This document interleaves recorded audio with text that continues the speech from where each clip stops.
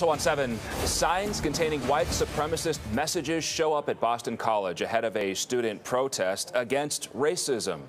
They were found on campus near the spot where the anti-racism march kicked off today. The signs removed and now police are investigating. Boston College responding to this disturbing discovery, saying the school denounces all forms of hatred. Seven's Kimberly Bookman live now in Chestnut Hill with the latest. Kimberly?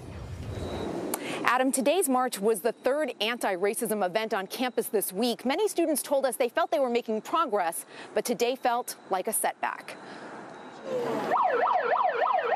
Just as a thousand students and staff gathered to march against racism at Boston College, these signs popped up on an outdoor kiosk and shifted the attention. They had a picture of Uncle Sam on them with the words, Don't apologize for being white, underneath. I am upset, I'm disappointed, um, and I think that's pretty much what you'll hear from any student of color here.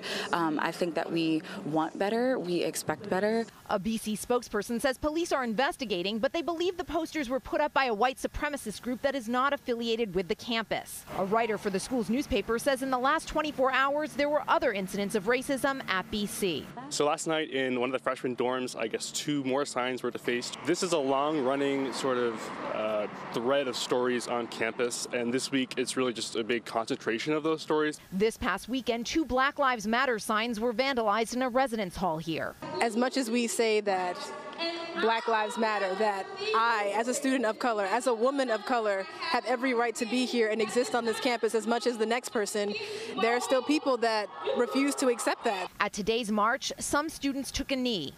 But most say the huge crowd showing up and standing up prove more people than not want these racial tensions to end. It's not so much about releasing the emotions, so much as channeling those emotions. So what are our next steps? What are we going to do to make BC a better place?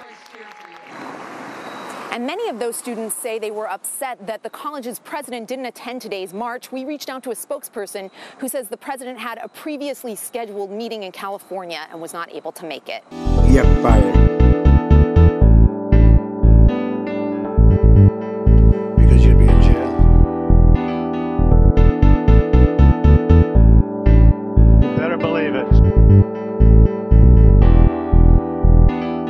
Subscribe to Very Fake News.